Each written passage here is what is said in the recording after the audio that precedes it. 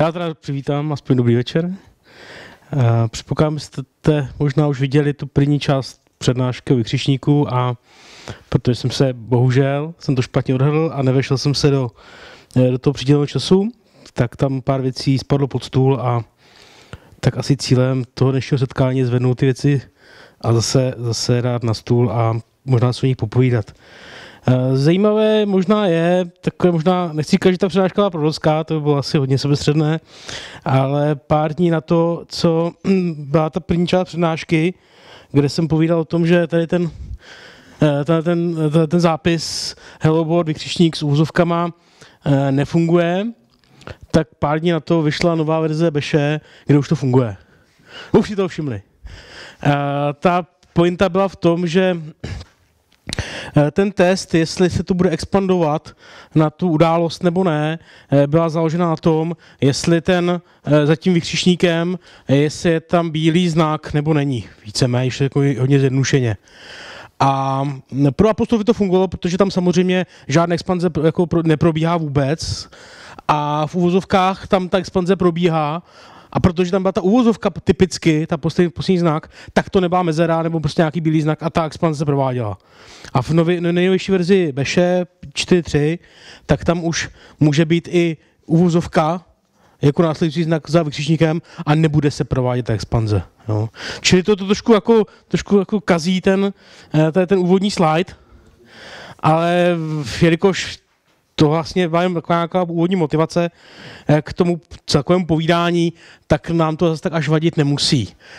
Možná si vybavujete, že jsme, jsme takovéhle kolečko různých vlastností a, a částí šelu, o kterých eh, se ten, ve kterých se vykřičník vyskytuje. A začal jsem jít tady a postupně jsem došel až sem. Což, jak vidíte, jako není mnoho, ale myslím, že pak už dál toho není až tak moc, takže myslím, že dneska to tak jako da, do takových těch dvou, dvou tři hodinek zvládneme. Uh, takže uh, nebudu opakovat uh, to, co jsem povídal, to, co jste možná koukali na YouTube. Pokud by k tomu byl nějaký dotaz, určitě se k tomu můžeme vrátit. A já bych teda jako tak nějak plynule navázal na to, co jsem skončil. Já jsem skončil proměnými a přešel bych ke lobbingu, na který už se nedostalo. Tak, zkusíme to kliknout. Tak jo. Tak, eh, Globing asi znáte, to je vlastně, eh, vlastně chvíle, kdy se z argumentů, kdy se uvnitř argumentů hledají nějaké speciální znaky, aby se... Je to špatně? Eh, aby se uh, mohly generovat názvy souborů. Čili ty argumenty se berou jakoby vzory šilské a snaží se najít soubory v příslušných adresářích, které by těm vzorům odpovídaly. A tam teda uh, se ten vykřičník vyskytuje v zásadě ve dvou, uh, ve dvou situacích. Buď máte množinu, jednotlivých znaků, které na dané pozici můžou být a vykřičník, pokud je na prvním místě, tak provádí, vlastně říká negaci, respektive doplněk té množiny. Čili znaky, které nejsou eh, v té množině, můžou být na té pozici. Pardon.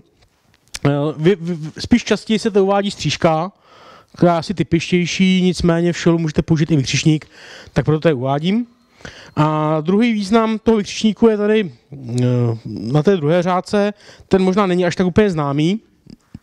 Eh, ten souvisí s rozšířeným globingem, eh, čili možností vyjádřit jakési nebo, které tady je vyjádřené pro jeden znak, tak může být i pro více pro více znaků, respektive řetězců. A s nimi se jde provádět nějaké další, další výběry, čili když já mám tady seznam, seznam nějakých vzorů, tak eh, já můžu říct, že to jsou ty, které neodpovídají tomuhle seznamu. A mezi nimi se zase bude hledat ten odpovídající název souboru. Ukážu to pak možná prakticky. S tím souvisí i nějaké, nějaké proměny, nějaké nastavení šelů, eh, o kterých se teď povíme. Tak, co se týče vzorů, tak tam bych začal asi tím, co, tím, co znáte, i když i v takových jako, možná jednoduchostech občas se skrývá trošku čertík. Tak eh, první věc, aby bylo na čem to zkoušet, tak se dá vytvořit pár souborů. Tady jsem použil Brace Expansion, což je expanze, která se dělá čistě textově. Je to jedna z mála expanzí, která mění počet argumentů. A ta syntaxe vypadá tak, že do složených závorek se napíšou čárkama oddělené slova a pak se provádí kombinace každý s každým, se na to se expanduje. To je trošku speciální případ, tady žádná čárka není, to jsou dvě tečky, eh, což představuje interval a pak je to od toho prvního znaku do toho posledního včetně. A tady vytvořím teda znaky eh, malé, malé písmenka A až F a pak ještě velké písmenka A až F. Ten, aby to nebylo příliš a aby tam něco bylo vidět. Eh, čili ta expanze mi tady expanduje eh, tyhle ty písmenka a touch pak vytvoří soubory prázdné, které, které budou mít tyhle ty názvy. A teď eh, to je ukázka toho, když řeknu, jak, jak funguje ten globing. To echo je tady čistě jenom proto, aby bylo vidět trošku navenek, jak, jak to vevnitř funguje, čili hvězdička se expanduje na všechny položky v adresáři v aktuálním, to víte. Čili to je v tom adresáři, kde není kromě těch pár znaků nic jiného, no tak to budou takové velké, velké malé znaky. Um, ta expanze uh, probíhá podle abecedy. Jo, řazení je podle abecedy. Uh, a protože uh, pokud máte výchozí nastavení, tak, což je C, tak to řazení je podle ASCII tabulky. A protože v ASCII tabulce jsou samozřejmě velké písmena a pak malé písmena, no tak v tom pořadí se expanduje, expanduje ta hvězdička. To echo s tím neudělá nic jiného, než že ty položky takhle jako vypíše za sebou. Jo, to je jenom čistě pro tu vizualizaci. Mohli bychom místo echa samozřejmě použít ls, pak by to nebylo v řádku a bylo by to v nějakých sloupečcích, ale v zásadě by to bylo podle stejně. Um, co je zajímavé, eh, je, když řekne člověk, že chce písmena malé abecedy, řekne malé A až malé Z, tak dostane znaky, že ty, ty názvy souborů, který, které mají právě jeden znak, protože tady jedna ta množina, tak to bude právě jeden znak z té množiny malých písmen. No a tady konečně dostáváme k tomu vykřičníku. Pokud je napíšu vykřičník, tak je to cokoliv kromě malých znaků. A protože tam kromě malých znaků už máme jenom velké písmena, tak to jsou právě tyhle ty velké písmena.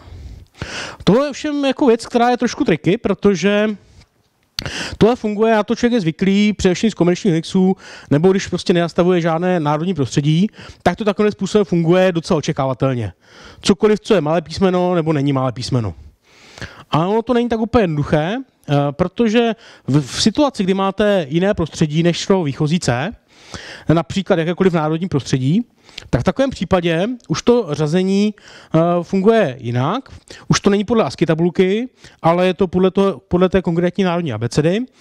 A je to tak, že uh, vždycky je tam že malý znak a pak velký znak. Čili malé A, velké A, malé B, velké B a tak dále. Čili když řeknu stejnou situaci jako tady, jako hvězdička, tak zase výsledkem budou stejné názvy souborů, ale v jiném pořadí.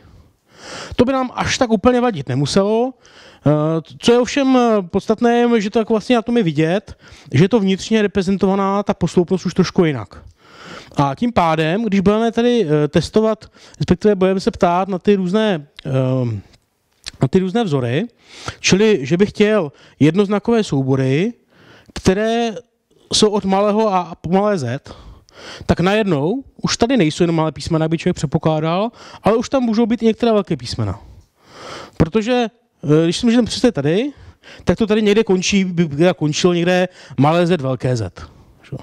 A my vezmeme množinu, nebo range, oblast, která je od malého a po to malé z. Takže to bude jak ty malé písmena, tak ty velké písmena, kromě jediného, že? kromě toho velkého z. Přesně tak. No. Čili najednou už to začíná fungovat jinak, stejná záležitost, jenom díky tomu, že máme jiné národní prostředí a jiné řazení. Čili jak vidíte, tak tohle není úplně jako ideální způsob, jak, jak řešit eh, jak řešit malé a velké písmena, protože to není úplně spolehlivé. No a tady, jak dopadne teda s, to, s, to, s tím doplňkem? No s doplňkem to ku podivu dopadne ještě úplně jinak. Otázka, jak to, že to dopadne takhle. Eh, my jsme tady chtěli všechny znaky, které nejsou od malého A po malé Z. Ale to z té množiny neodpovídá žádnému souboru. No a protože ten shell vnitřně funguje tak, že když není na co expandovat, tak se neexpanduje, no tak se tam ten původní zápis nechal a echo ho prostě vypsalo. No, takže to jsou vlastnosti, ta, dá se to změnit, dá se to říct, že když není na co expandovat, ať expanduje na prázdný řetězec, Ale takovéhle to výchozí, výchozí fungování takhle vypadá. No.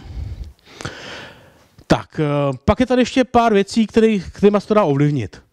Eh, existuje nastavení no case glob, které říká, že se nebude brát při tom, při tom lobbingu, se nebude brát eh, do úvahy velké malé písmena. Okay.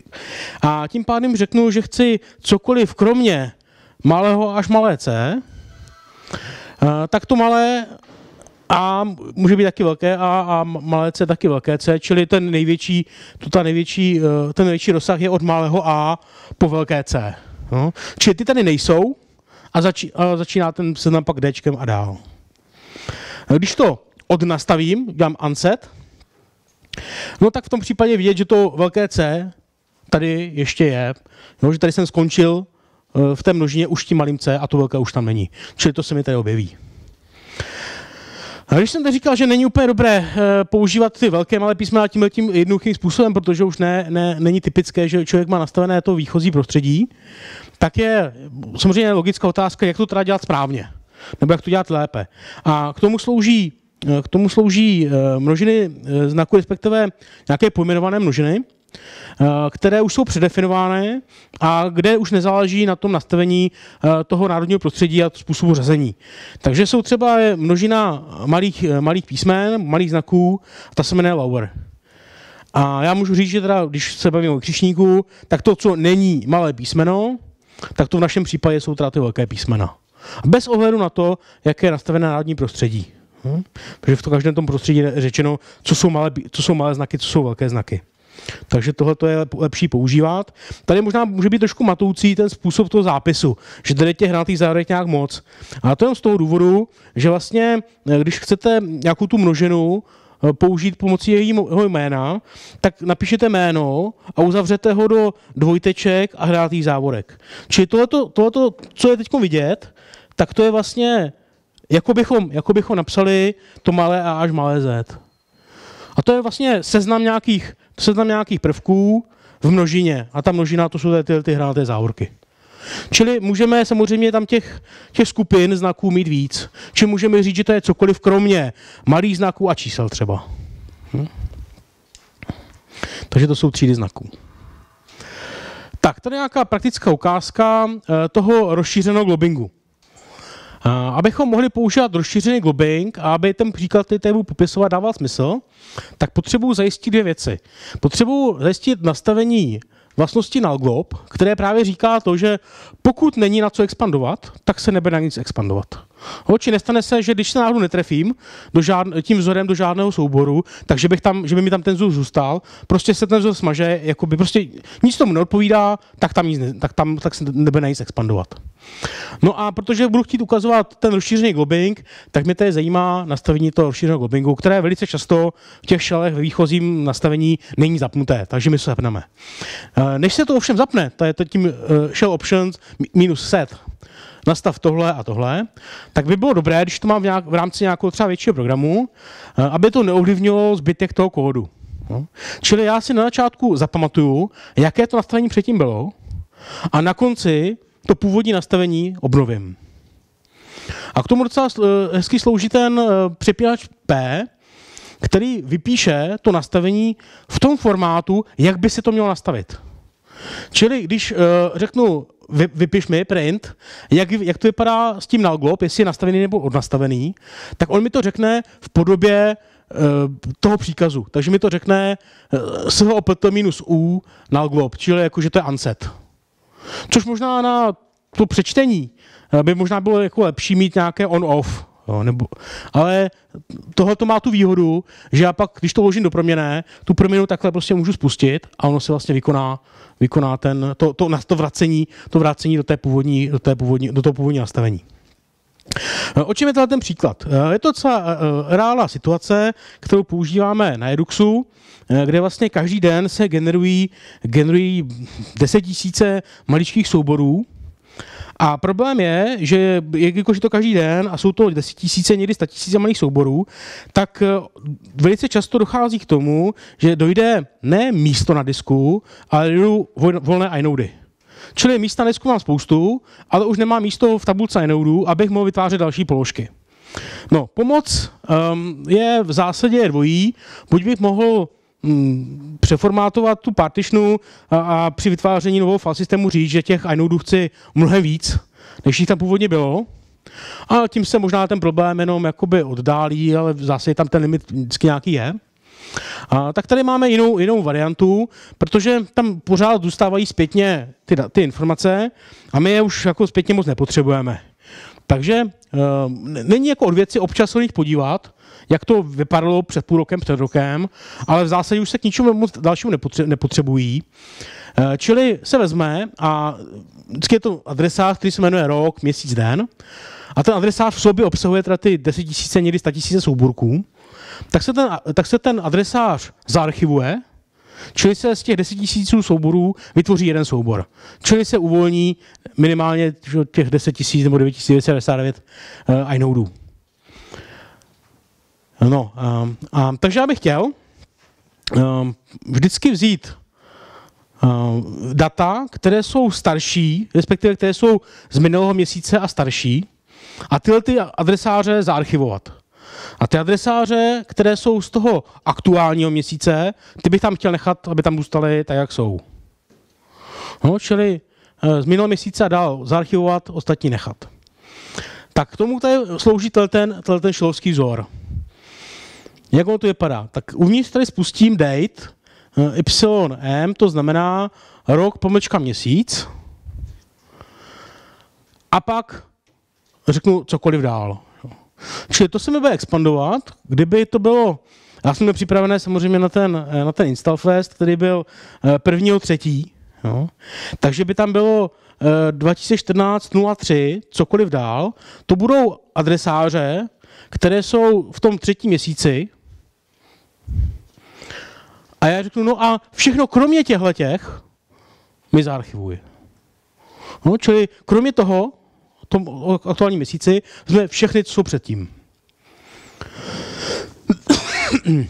Samozřejmě tady by to vzalo i jako tenhle ten měsíc. No, protože tam to, uh, respektive, ne, tenhle měsíc ne, ale jako by to i ten třetí měsíc. Jo. Čili bych měl nějaké což ale z principu věci jako nenastává, že bych měl nějaké, že bych se vrátil v čase a měl bych tam nějaké z budoucnosti. Jo? Tak to by to samozřejmě taky vzalo, ale to prostě v reálné situaci nenastává, či tím se trápit nemusím.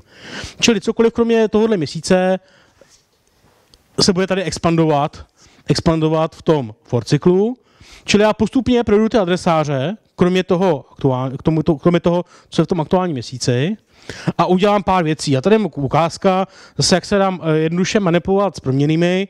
Vlastně to, to, všechna ta manipulace je, je vystavená v šelu. Čili není potřeba, určitě vím, že byste to zvládli stejnou věc udělat pomocí sedu, AVKčka, nebo prostě pomocí nějakého katu a tr. Tady je to udělali čistě v šelu. Čili já mám tady nějaký adresář, no to možná není úplně dobře vidět, mám dejme tomu adresář 2013, pomlčka 12, pomlčka 07, lomeno. Ještě tady je možná zajímavá věc, proč je tady to lomítko. To lomítko tam samozřejmě jako teoreticky být nemusí, ale to je takový docela užitečný hack.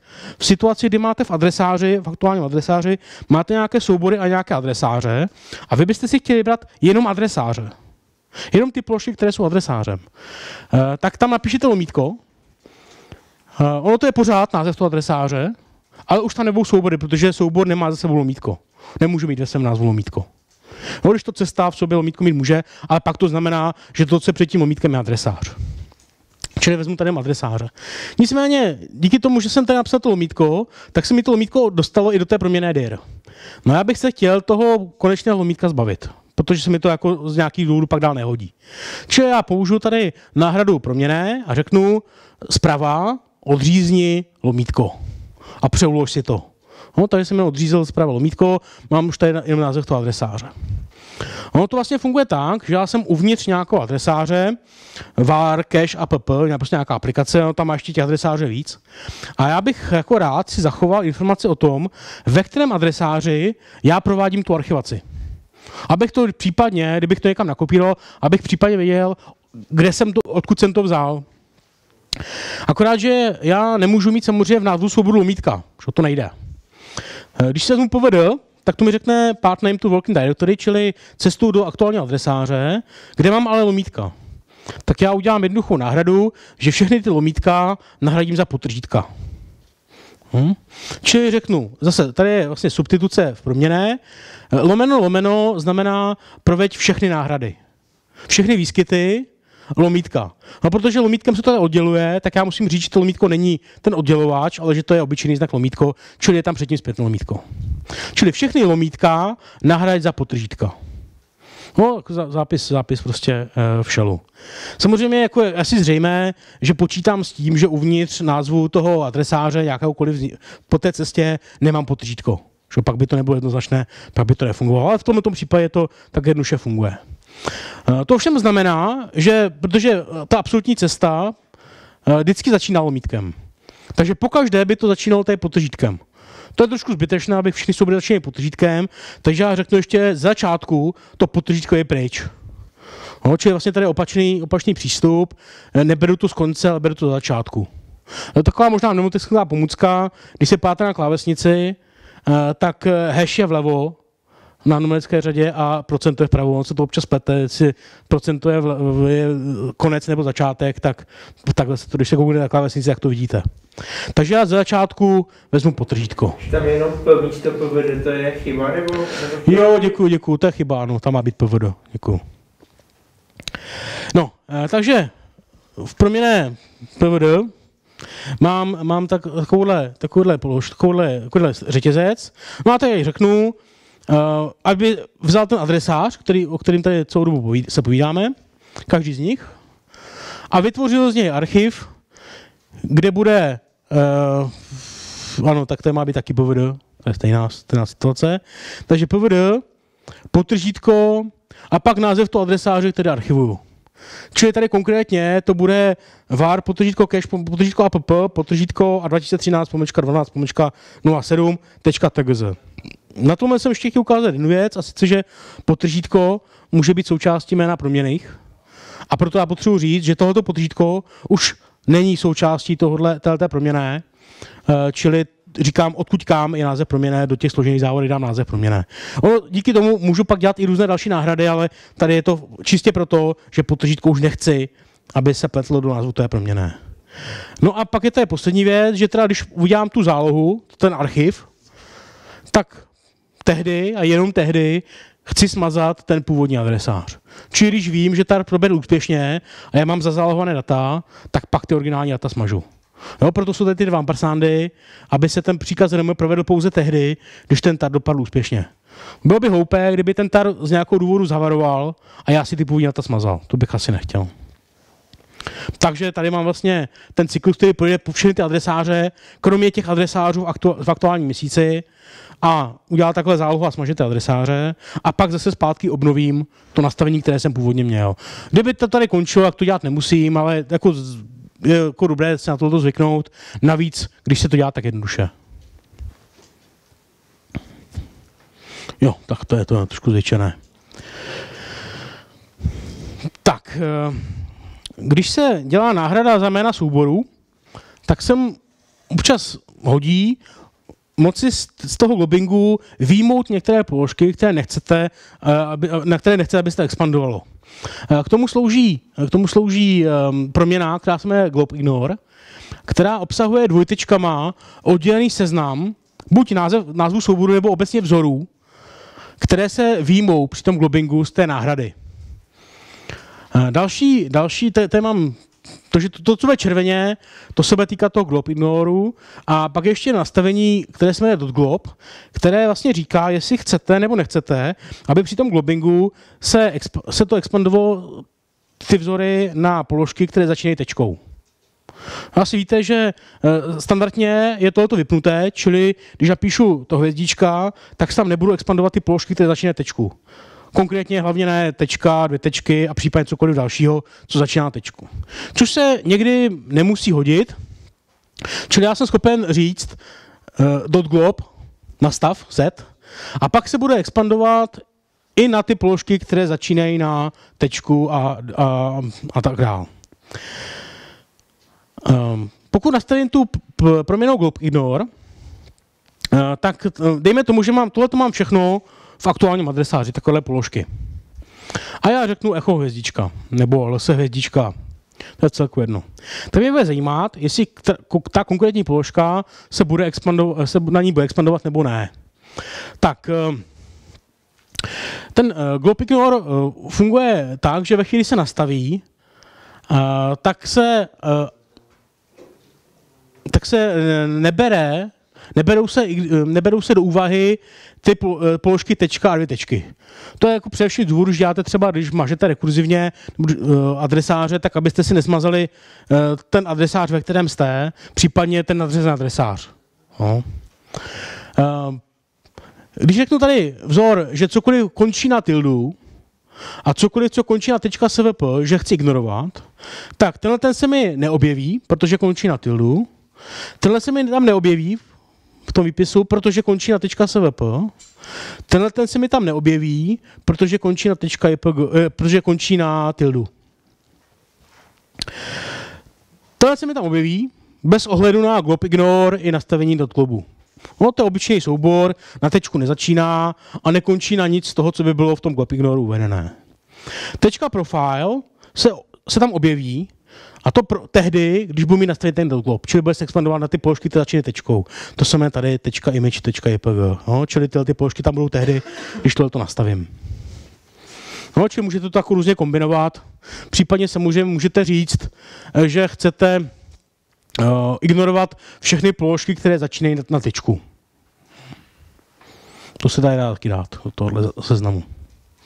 Takže to se může hodit například, že znáte, že některé programy si tváří dočasné soubory, a vy dejme tomu, když chcete něco dát do Gitu, nebo prostě budete si, si nějak pracovat dál, nebo něco kopírovat, tak nechcete tyhle ty zálohy tam někam uvádět, ty dočasné soubory, tak je můžete nechat ignorovat. To samé tady nějaké slab soubory, zase nějaké dočasné, dočasné položky různých editorů.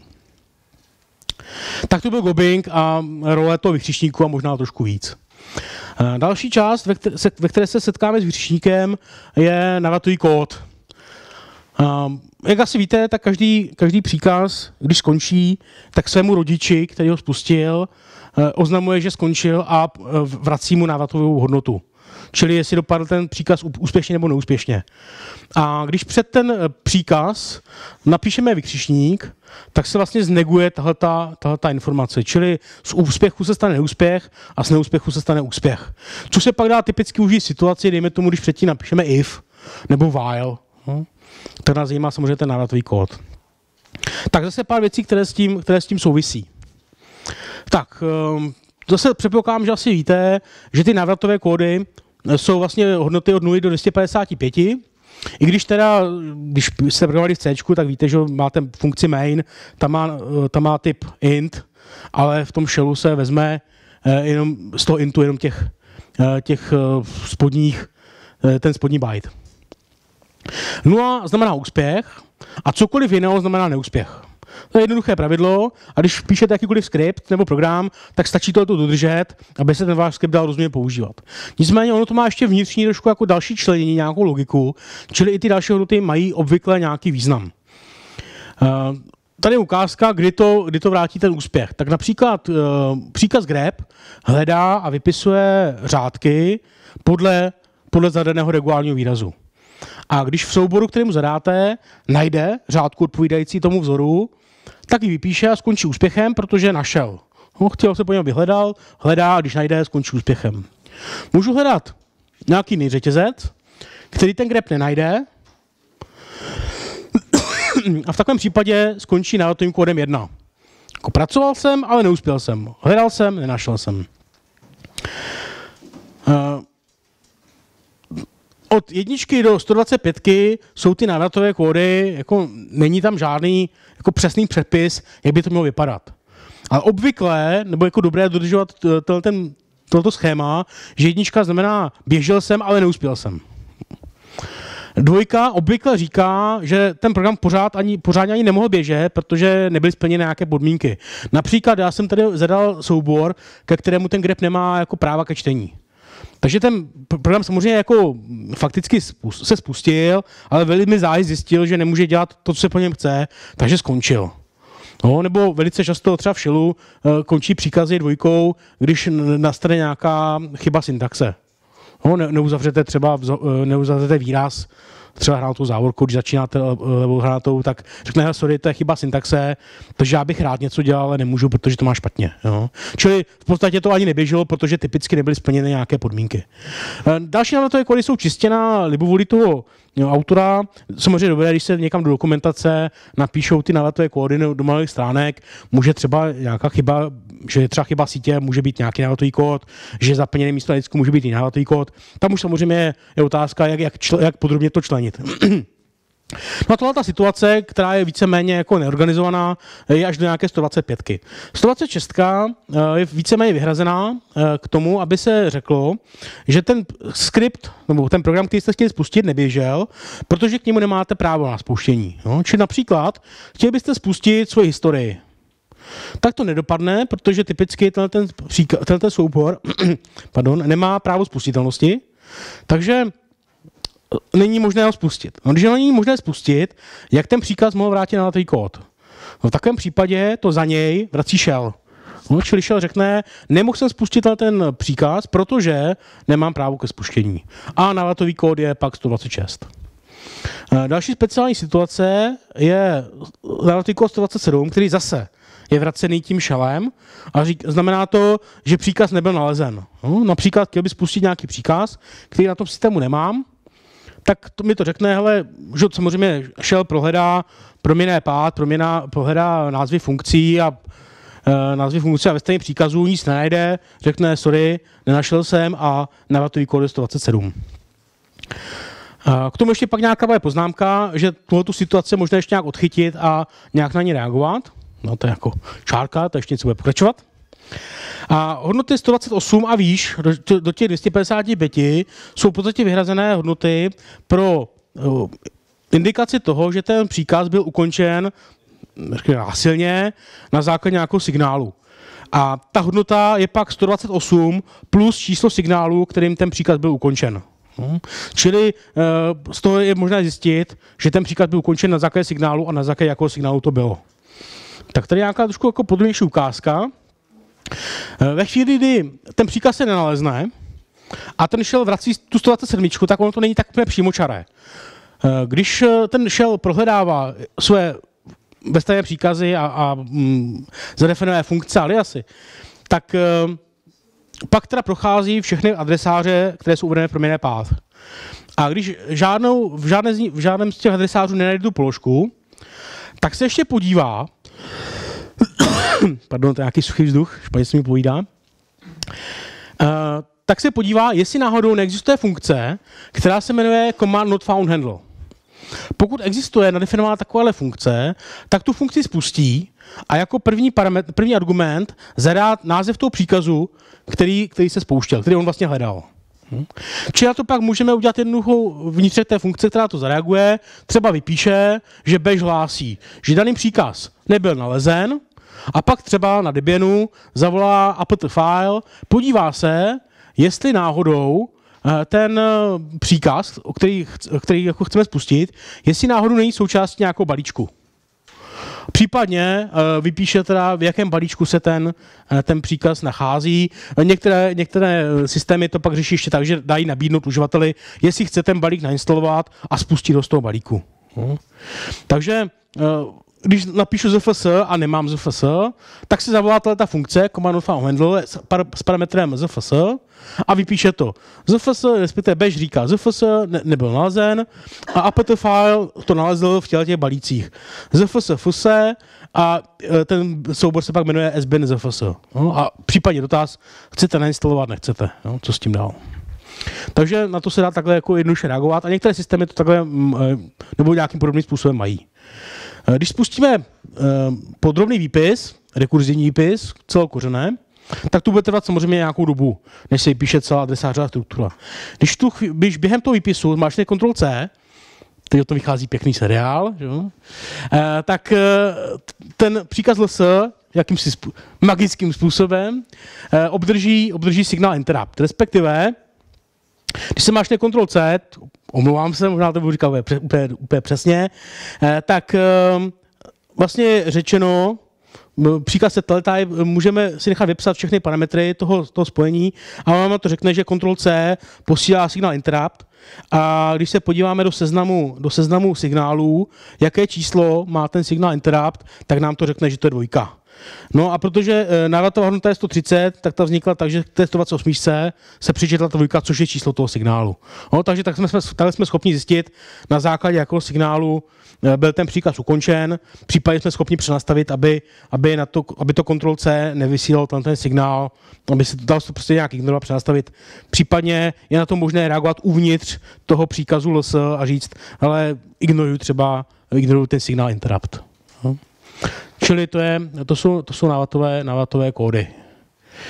No, jak docílit těch návatových kódů? Uh, true, false. Uh, existuje příkaz, uh, velice často vestavěný, uh, true, který vlastně vrací, uh, vrací vždycky úspěch. Uh, pokud bychom chtěli false, no tak můžeme říct, že negace hodnoty true je false. Jednoduché. Zase uh, negace false hodnoty je true. Eh, čili pokud máme zase ve stejný příkaz false, tak ten vrací neúspěch. Eh, existuje v shellu, v Bashi existuje prázdný příkaz, eh, můj oblíbený nedělá nic a vždycky skončí úspěchem že kdo nic nedělá, nic neskazí, čili ten taky vrací úspěch a kdybychom to chtěli, kdybychom chtěli neúspěch, tak je to vlastně negace té nátové hodnoty dvojtečky. Jo? Čili tady se ani nevolá žádný jako nějaký, nějaká binárka, žádný příkaz, i když ten příkaz true, uh, případně false je velice často vystavěný. Nebo můžu zavolat subshell, a v něm říct exit 0. Čili ten navatový kód toho příkazu je pak navatový kód toho shellu, a navatový kód shellu je navatový kód toho naposledy spuštěného příkazu v tom shellu. Čili ten poslední příkaz exit 0, tak celý shell končí tím, tím, tím hodnotou 0, případně tady jednička. Tady je samozřejmě jedno, jestli to bude jednička nebo 255 nebo cokoliv jiného eh, než 0, prostě to je to podstatné. Na některých systémech uh, jsou příkazy jako binárky true a false, Uh, tuhle jsem četl nějakou jako hezkou diskuzi uh, ohledně těch příkazů true a false. Někdo se tam jako navážel do autorů systému, uh, Corutils, které jako tohle mají v sobě, uh, že to jako příkaz, který nic nedělá, v podstatě vnitřně jenom vrátí na ten kód a že už je v nějaké verzi 4. něco a že když, když se koukne a že když se koukají do changelogů, Uh, takže vlastně jako za ty, za ty léta, co v těch changelogí, uh, tom changelogu je, tak tam vždycky akorát jako přibyde, že součástí typicky na komerčních Unixech je součástí toho uh, nějak na začátku nějaký, nějaký začátek jako copyright, jo, kde se vždycky napíše copyright, pro který rok to platí. Takže vždycky jako na té řádce přibyl ten, ten, ten konkrétní rok, jo, že to jako všechno, co se to mění. Někdo tam další jako říkal, jako, že to jako hezký, ale že na některých systémech dokonce ten příkaz se vyvíjí a že má, teďko nevím, teďko bych si vymýšlel, jestli má třeba 50 KB nebo něco takového, protože už v sobě obsahuje e, podporu národního prostředí, čili e, jestli má to nějaké přepínače, a True a false, no. A když, eh, když eh, to má nějaké přepínače a vydáte špatný přepínač, tak by to mělo zhlásit nějakou eh, jako chybou hlášku. A když chybou hlášku, tak samozřejmě podle toho národního prostředí a to jazyka, který máte zvolený. Čili jako, jako mnoha, mnoha jako kilobajtové knihovny, že, které pak řeší tyhle ty jako detaily u takového hloupého příkazu, jako je true a false. Že?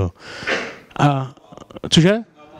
A má to ještě manuál, tak jako proč ne, že jo? Ale jo. Eh, docela zajímavé, teď jako eh, mě to zarazilo, eh, když jsem koukal, hm, to říkal kolega, že když koukal do zdrojáku nebo do systému Solaris 11, jestli teda o tom tady smí povídat na, na Linuxovém tady, a vlastně je to sud, že? takže Unixový, takže tam je zajímavé to, že velice často Můžete to vidět možná i některých svých systémech, když se podíváte, jak jsou implementovány ty, ty binárky true a false, tak to není binárka, ale je to vlastně shellovský skript, který má akorát v sobě napsáno třeba exit 0 nebo exit 1 nebo něco takového, něco prostě z tohohle. Jo. A, což je samozřejmě otázka, proč je binárka, která má v sobě, vlastně, která je interpretovaná. Vlastně ne binárka, ale interpretovaný kód. A v tom Solarisu 11 je docela jako velké množství e, souborů, které jsou vlastně jenom šelovské skripty. A člověk si řekne, no to je přece divné, přece ta binárka musí být rychlejší, než, inter, než spustit interpret, ten si načte ten kód, ten interpretuje a nakonec něco udělá. To přece musí trvat mnohem déle, než spustím nějakou binárku a hotovo. No a finta je v tom, což jako zjistili teda, teď nevím, jestli ještě u Sanu nebo už v Oracle, eh, že eh, zatímco načíst binárku, to znamená, že načíst do paměti, začít interpretovat ten kód, kdežto interpret, ten shell, se používá v tom systému mnohokrát a z největší pravděpodobností už dávno bude v té paměti natažený. Čili tohle to odpadá a ta interpretace té jedné řádky je v, jako v zásadě mnohem rychlejší, než načíst nějakou binárku, možná několika kilobajtovou, včetně, včetně různých jako knihoven, že popítných, aby to nakonec jenom skončilo. No. Čili jako zajímavé, jako, že to trošku vrací a spousta těch věcí se implementuje jako šilovské skripty. Tak to jako k tomu taková poznámka k tomuhle slajdu, jak se řekne true a false. A tady samozřejmě ten vykřišník, že teda dělá negaci té návratové hodnoty. Eh, začíná to být samozřejmě trošku komplikovanější ve chvíli, kdy ten příkaz, byť vrací správně návratový kód, se použije v koloně, v nějaké pipeline. Či dejme tomu, že já hledám nějakého uživatele se soubor pas SVR, čili potřebuji, aby na začátku bylo to uživatelské jméno pak dvojtečka.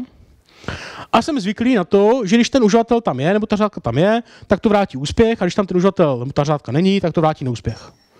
No jo, jenomže ten grep mi samozřejmě vrátí celou tu řádku. A já bych s tou řádkou teď potřeboval nějak pracovat. Například bych potřeboval vyměnit všechny dvojtečky za čárku. No, vypadá docela jednoduše, a to jednoduché to je, ovšem, co se stane s navatovým kódem? Navatový kód této pipeliny bude navatový kód toho naposledy zavolaného příkazu. No naposledy zavolaný příkaz je tedy, jestli grep nic nenajde, no tak řekne jako nic nemám, teda řekne, no nic není, nic nedělám, taky, taky dobrý úspěch. Čili už se mi ztrácí ta informace, jestli ten uživatel byl nalezen nebo nebyl nalezen. Jenom, jenom díky tomu, nebo jenom vinou toho, že jsem teď chtěl ještě nahradit nějaké znaky, chtěl jsem udělat najednou. No, abych to dělal na dvakrát. Tak najednou už tohle použít nemůžu, tady je jednička, tady je nula a výsledek celý je nula toho podle toho posledního příkazu. Což se mi nemusí úplně hodit, Naštěstí existuje v Beši proměna typu pole, která se jmenuje pipe status a jednotlivé položky toho pole říkají, jak dopadly ty jednotlivé příkazy v té pipeline.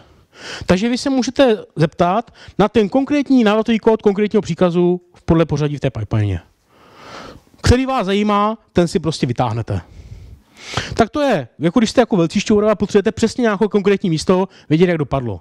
Pokud vás zajímá jenom obecně, jako jestli to něco, něco v té pipeline selhalo nebo ne, tak tomu eh, slouží nastavení pipefile, který, když se zapne, tak návratový kód té pipeliny je návratový kód buď toho posledního příkazu, nebo toho předešlého, který není úspěšný. No, čili vezme se první neúspěch po té cestě a ten se, ten se vrátí jako návratový kód.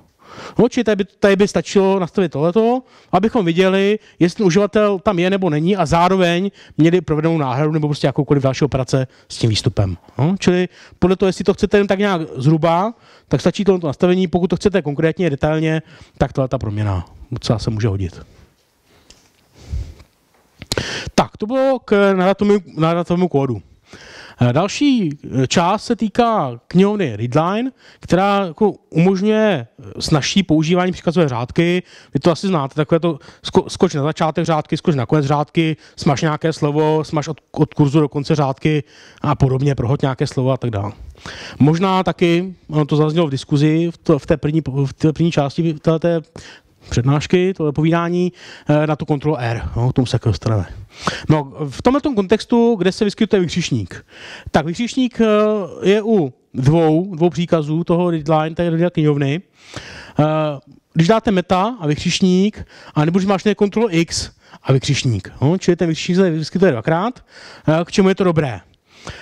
Tak pokud byste chtěli doplnit název příkazů na místě, kde se obvykle neočekává název příkazu. Vy víte, že když napíšete, začnete psát název příkazu, dáte tablátor a je to první slovo, tak se bude doplňovat název příkazu.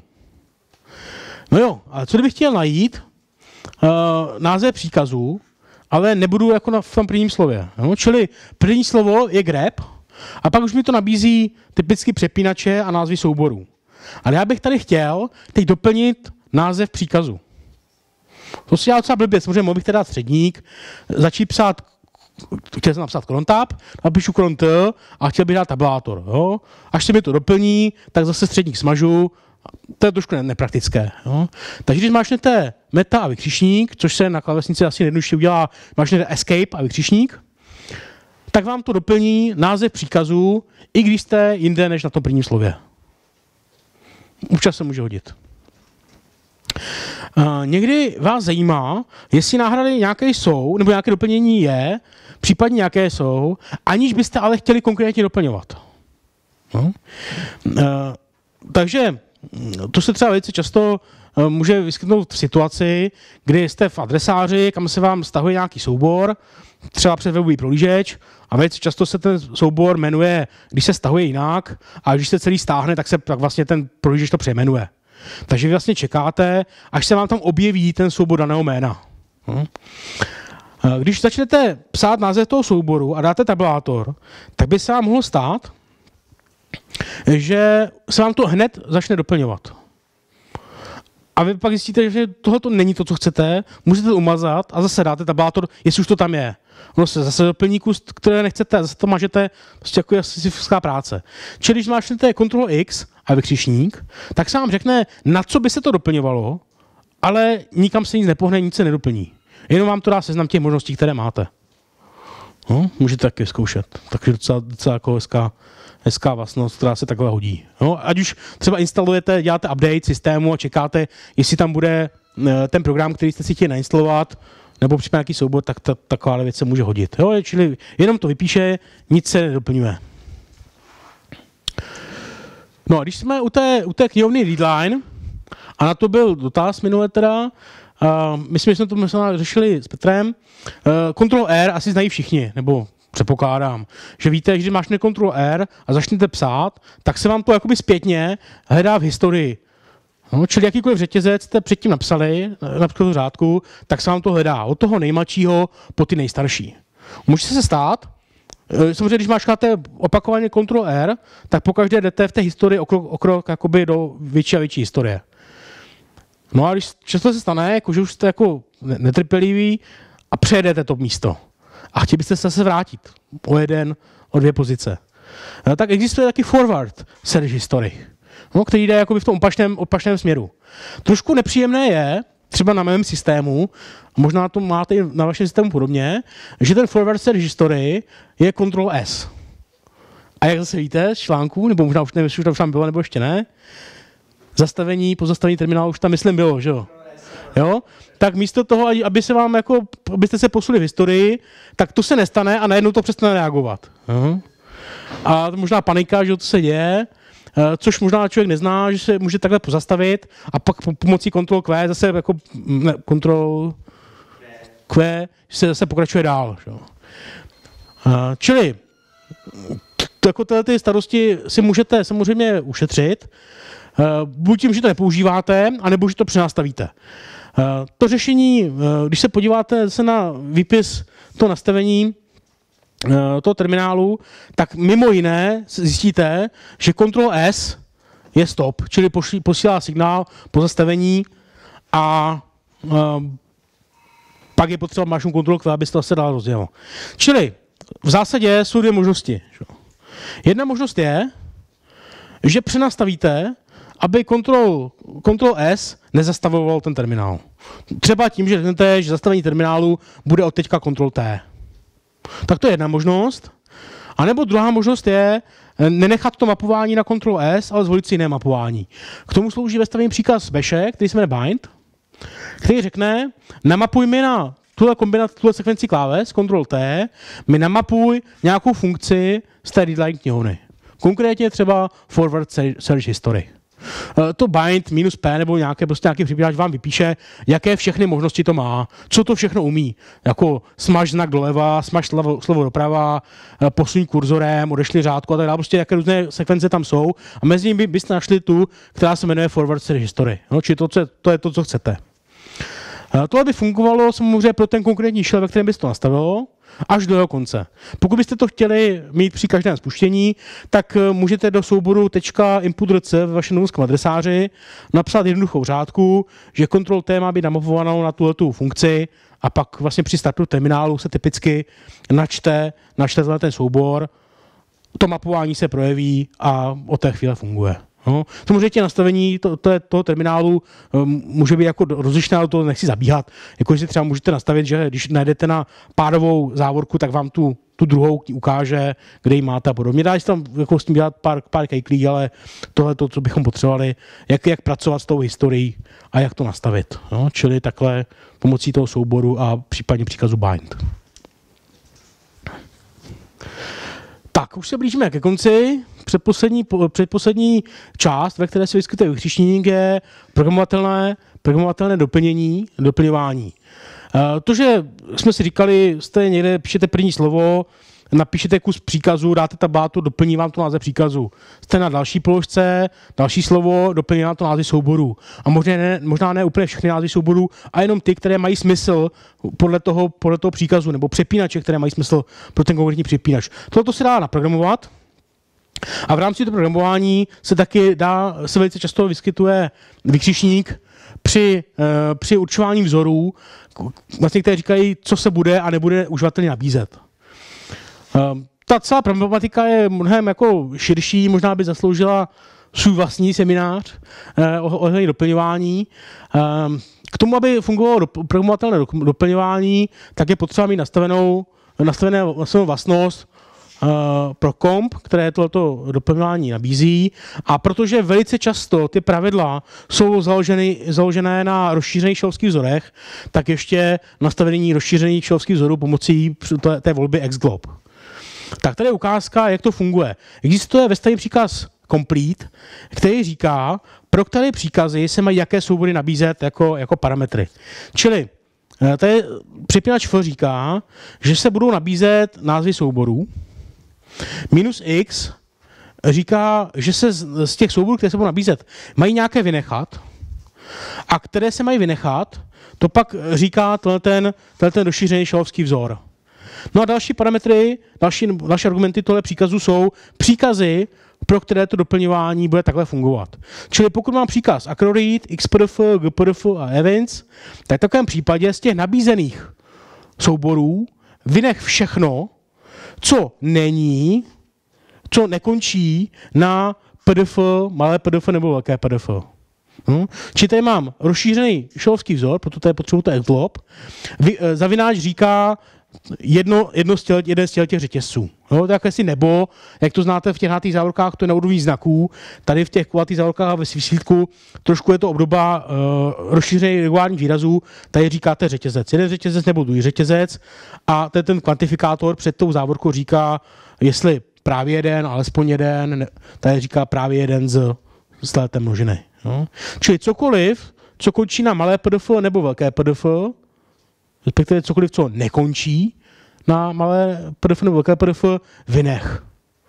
Trošku možná krkomná konstrukce, vše možných negací, vyne všechno, co není něco. No. Jinými slovy, nabízejí pouze malé PDF a velké PDF jako soubory, pokud název příkazu je jako read XPDF, GPDF a events. Samozřejmě tohle je jako věc jednoduchý, jednoduchý, jednoduchá ukázka, jak se na jednoduchý filtr uh, v příštím programování doplňování uh, to doplňování má samozřejmě mnohem více možností a je tady víc, je tam víc příkazů než jenom complete, které se s tím dají, můžou nějak popasovat, tak to je takový náhled, že i taková věc jako doplňování se dá docela jednoduše parametrizovat, není to nic složitého, čili můžete, když má, máte třeba vytvořené nějaké vlastní skripty administrační a pořád se vám tam betou nějaké soubory, nabízí vám to místo konfiguráku, vám to nabízí logy, no tak můžete říct, nenabízej mi eh, logy, nabízej mi prostě jen konfiguráky, když používám tenhle ten můj skript. Hm. No a poslední věc, vlastně se trošku vracíme k tomu původnímu, o čem jsme se bavili, čili jak vlastně funguje quoting, čili když mám nějaký znak a on má nějaké speciální vlastnosti, tak kdy se použije ta speciální vlastnost toho znaku, speciální význam, když se použije ten znak, znak doslovně. Čili pokud bych chtěl doslovně použít nějaký znak, tak uh, můžu dát zpětlomítkový křičník, nebo ten křičník můžu dát do apostrofu, nebo do uvozovek. No, s těmi uvozovkami už jsem ten naznačoval, že je trošku potíž, ale ještě dneska už teda ne. Uh, tak, uh, s tím vykřičníkem v různých situacích to dopadá různě, podle toho, jestli máte interaktivní shell, a nebo jestli píšete skript. Případně máte nastavenou vlastnost plus H, eh, která, která nedělá expanzi historie. Hm? Čiže napíšu vykřičník, je jeden sám o sobě, tak eh, jak v interaktivním shellu, tak i ve skriptu to vypíše vykřičník. No, takže to je jednoduchá situace s očekávaným výsledkem.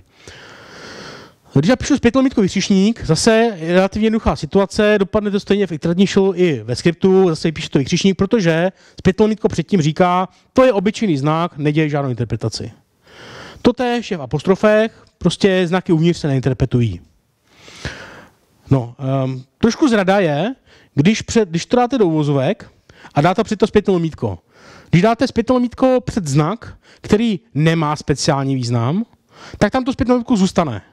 Když dáte zpětné lomítko před znak, který má speciální význam, tak to zpětné lomítko se, se sežere a zruší se ten speciální význam. No, takže když napíšete třeba dolar PVD, tak se to expanduje.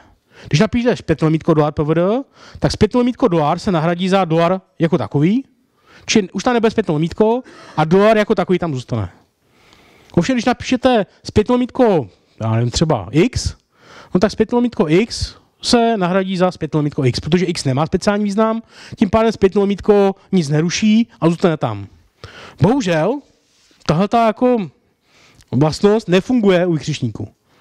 Ten, se, ten sice ztratí svůj speciální význam, ale to zpětné lomítko tam stejně zůstane.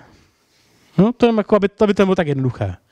Naštěstí je to stejné jak v interaktivním shellu, tak ve skriptu, ale bohužel jo, zůstane tam to zpětné lomítko.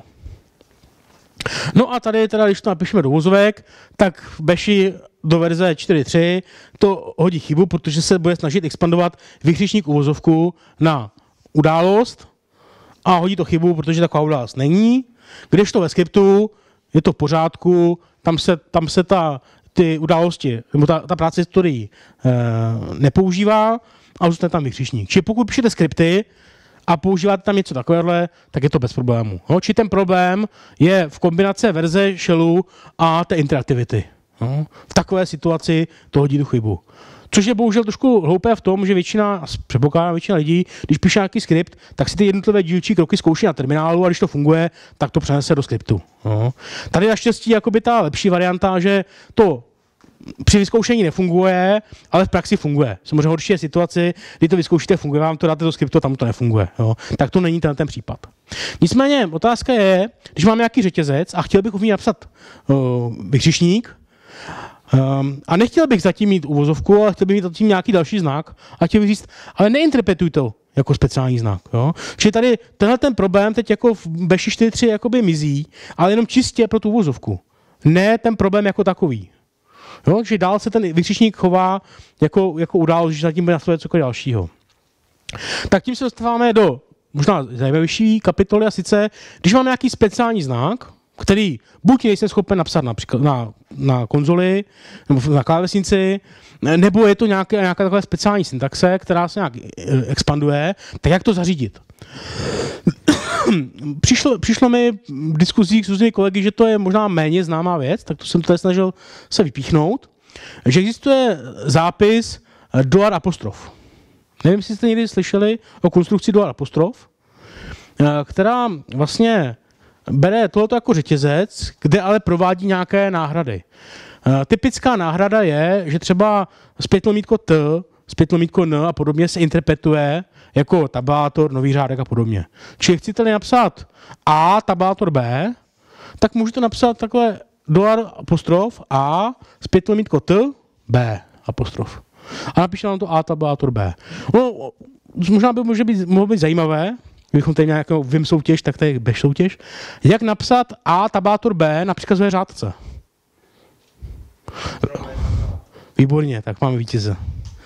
Jo, čili Ctrl V jako přepne do režimu, kdy ty znaky se dávají jakoby eh, tím, tím svým skutečným nevýznamem, nikoliv nespouští se nějaká funkce, která s něco dělá.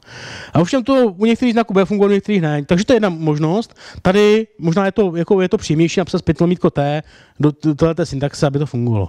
No, eh, další možnost je zadat tam eh, oktalový zápis znaků, což tady 41 oktalově znamená, je pozice vykřičníku v ASCII tabulce. Čili tohle by vám vypsal vykřičník, Případně můžete to zadat ne oktalově, ale hexadecimálně, čili hexadecimálně 21, zase vykřišník. Možná zajímavější to je v situaci, kdy používáte nějaký znak, který třeba ani nějaká vesnici nenajdete, je třeba unicodový, tak pokud chcete zadat nějaký unicodový znak jeho kódem, tak můžete napsat použít malé u, což je pak e, zatím následuje 1 až 4 hexadecimální znaky, číslice, cifry abyste popsali ten konkrétní znak. No a pokud chcete používat uh, ještě vyšší, vyšší hodnoty v toho Unicode, tak můžete napsat zpět velké U a pak zatím může nasledovat 1 až 8 cifer, čili to už vám by měl snad popsat celý ten Unicode. Uh, tady na závěr, pokud chcete, můžete si zkoušet, co udělá takovýhle zápis. Eh, Cože? Jo. Eh, ten dolar uvozovky v podstatě to samý, nebo má stejný efekt jako echo minus E, je to tak? Mm. Přepínač minus E, enhanced. Uh, no, do jisté míry to funguje podobně, akorát, že echo minus E je příkaz, který něco vypíše na výstup. Tak, jo, takže musel bych to zaobalit do nějakého zapšilu, dolar a tak dále. Jo, a, ale jako ten princip je stejný, jenom tady to prostě na tom, na tom místě konkrétně dojde k té náhradě. Eh, kromě toho existuje ještě syntaxe dolar uvozovky, ale o tom, o tom potom, to je, když byste chtěli eh, ve svém skriptu používat právě národní prostředí, čili aby ten váš skript se v různých národních prostředích choval jako různě, čili aby eh, při českém prostředí vypisoval hášky česky a v anglickém prostředí vypisoval hášky anglicky, čili jako lokalizační knihovna, knihovnu používá, tak tomu pak slouží uh, dolar uvozovky, ale to jsem úplně tady jsem tady nechtěl. Takže tady můžete napsat Skoro bych řekl, že to možná může být jeden z nejvyhledávanějších eh, znaků z Unicodové tabulky. Zajímavé, když jsme to, to nedá zkoušeli, zkoušel jsem napsat skriptík. Zkusil to někdo to, mimochodem tohle napsat? Kostička. Kostička, no. Tak to máte, Ale Google to máte slušný terminál, to máte slušný terminál, který neobsahuje takový fuj znak. Um, je zajímavé, že eh, je to z této množiny znaků není velice často mnoho jich naimplementováno. Jo? Čili je tam prostě prázdný, jako prázdný chlíveček, že tady by měl být nějaký znak, který ale neumíme. Jo? E, nicméně z této množiny e, je, jsou typicky dva znaky, které jsou obvykle implementovány a je to jeden z nich. Je zajímavé, že zrovna tenhle tak jako upoutal. Komentář Cože? By to byl dobrý komentář nějakého bráku, proto to asi. Jo, nebo možná do Gitu nějaký jo. koment k provedené změně. Merch. Takhle máte znak vypadat. Jo, jo, děkuji. Díky. To bylo dobrý, že to mě ten druhý znak. Myslím, že tučňák. Tučňák je, myslím, ten druhý znak. Ještě pejsek a kočička. Jo, pejsek a kočička. Většinou uh, jsou ty fonty se jako dají rozlišit na dvě skupiny. Jedny fonty mají naimplementovanou, naimplementovanou pejská kutičku a druhá skupina fontů z té množiny má naimplementovaného tučňáka a tohle. No, tak. tak jo, takže tím bych vlastně, tím jsem uzavřel kruh eh, povídání o vykřiš, vykřišníku. Kruh čeho, ale... A vidíte, ani to netrvalo dvě hodiny. Stačila hodinka. Tak jo, takže to by bylo povídání o různých rolích výřišníků eh, v Beši. Tak máte nějaký dotaz? Něco by vás zajímalo? Já se jenom zeptám, když si teda vypisovat, třeba přesouvat přes nebo přes hvězdičku i, i skrytý soubory s tečkou, tak tam to shop a tam to, aby se doplňovali i ty, i ty, i ty, na začátku. No. Já si díky.